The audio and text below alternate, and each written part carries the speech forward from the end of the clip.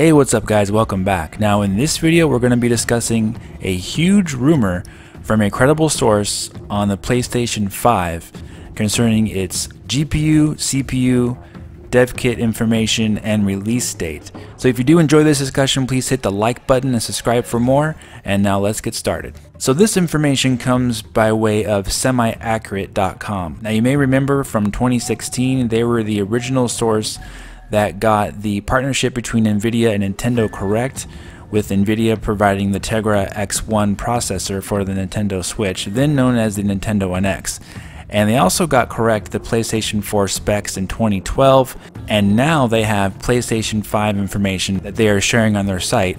Of course, you need a $1,000 subscription to read the information, however, we're going to do it right here free of charge because thankfully a user at Reset Era does have a membership to their site and did a summary of the information on Reset Era, which I'll post in the description. So again, I want to say that even though this information comes from a credible source, it is 100% rumor for now because things can change as we go forward. So first of all, from Semi Accurate, this article talks about the PlayStation 5 and how it's using AMD's technology. So it's going to be using AMD. We know that Sony is partnered with them and they have been since the PlayStation 4, of course. And as we know, that partnership has gone really well for them so far. The PS4 has sold almost 80 million consoles, and the PS4 Pro is a impressive console for the price. So Semi-Accurate reports that AMD is going to be using their Navi-based GPU architecture for the PlayStation 5. Now they say that it's not going to be specifically using Navi, but it's going to be based on it. Now Navi is AMD's next generation GPU that's supposed to be coming out in 2019. Now AMD also has Vega 20 which is also going to be released at the end of 2018 as long as all the scheduling goes correct for them. Now there's some very interesting things here about the power levels of these GPUs. Vega 20 is going to be on a 7 nanometer FinFET process and so is Navi. The current Vega GPUs, even the high-end ones, are at a 14 nanometer FinFET process, and those go up to 13 teraflops currently. You guys may not know this, but the Vega 20 has been listed as targeting 20 teraflops of single precision. So that is extremely powerful, right? A lot of performance. And what allows that is a 7 nanometer process, the smaller chip size, and much lower power consumption. Now, Navi, since that is beyond Vega, Navi is estimated at being up to 30 teraflops, right? So that is insane when you think about it. Now, for PlayStation 5, if PlayStation 5 does use Navi as the base architecture, which obviously isn't ready yet, if it does use that, I estimate it'll be around the 20 teraflops range as well, give or take, because obviously it may not be 30 teraflops because consoles are usually pared down a bit and don't use the full range as a PC GPU would. Now, I'm not saying it couldn't reach 30 teraflops, it's just that we're going to go ahead and go with 20 because 20 seems like an awful lot, right? So moving on to the CPU, Semi-Accurate is rumoring that it is using the Zen, which is Ryzen CPU, which seems kind of obvious right now. It, it seems like Ryzen is the place to go for your CPU needs on PC and on laptops and it's being used quite a bit. Ryzen has been a huge success for AMD and has actually made them hundreds of millions of dollars of profit in the past year. So it makes perfect sense, of course, for Sony to be using Ryzen in PlayStation 5. And what that CPU is going to do, of course, is going to balance out the GPU basically perfectly because you don't want to have any bottlenecks in that kind of system like that. However, the article doesn't point out any specific specs for the PlayStation 5, but I just gave you some for the Navi of what it's targeting so you can get an idea of what it can do from there. But we're going to talk about that a little bit more about exactly what it could do in just a moment. But next, they report that a large amount of dev kits have already gone out to developers. And then they suggest that a 2018 release of the PlayStation 5 is not out of the question based on the amount of dev kits released. And also they report that virtual reality goodies, quote unquote, are baked in at a silicon level. So that most likely means that they are going to be not giving up on virtual reality anytime soon.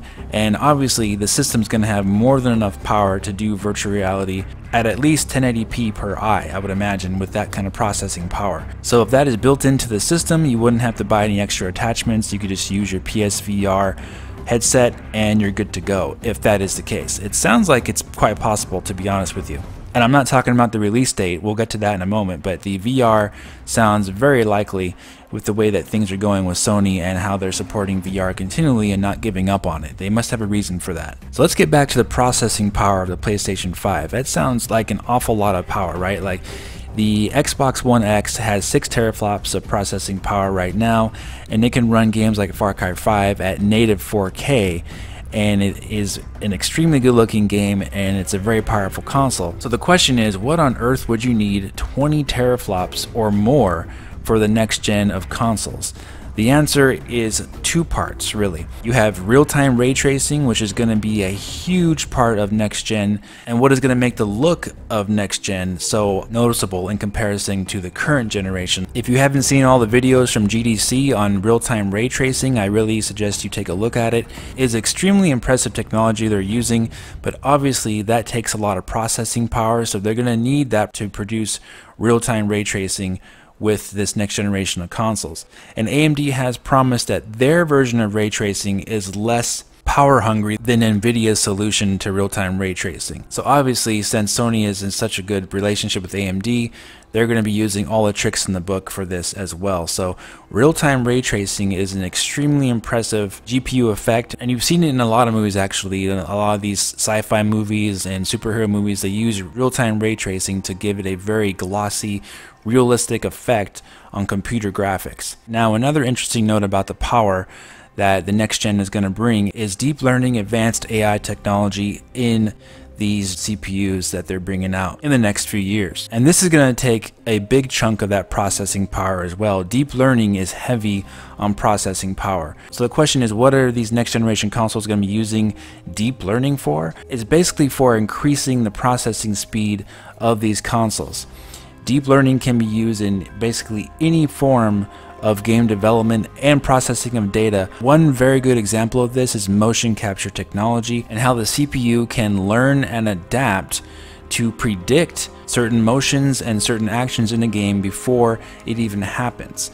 So that is where the technology is going. They're most likely going to be using this deep learning technology in order to increase processing speed and to increase development time even because when you think about it a lot of work has to be done in these big budget games like Tomb Raider Uncharted uh, you know games like that use a lot of motion capture technology so theoretically they could use less physical actors and more CPU deep learning prediction in order to predict how the movements of a character will be realistically with minimal amounts of motion capture, which would really cut down on development time and cost in producing these games. So that is where I think all that processing power is going to be used and everything across the board obviously it's going to be probably 4K 60 frames per second with all this deep learning and real-time ray tracing and VR and everything like that. So it's going to be across the board where that they're going to be using all this processing power. Now let's get to the release date. Do I think it's coming in 2018? I absolutely do not think that's the case and the reason is because the PlayStation 4 is selling really well right now. It sold over 20 million consoles in 2017 and it has a lot of exclusives still coming in 2018 and even 2019. I believe Days Gone and The Last of Us 2 is coming in 2019, and most likely Final Fantasy VII Remake is also coming in 2019. There is quite a lot of content still coming for the PlayStation 4 in 2018 and 2019. So I think the soonest they could really release the PlayStation 5 is going to be either 2019, but I really think it's going to be more like 2020 to give the PlayStation 4 its full life and full breadth of titles.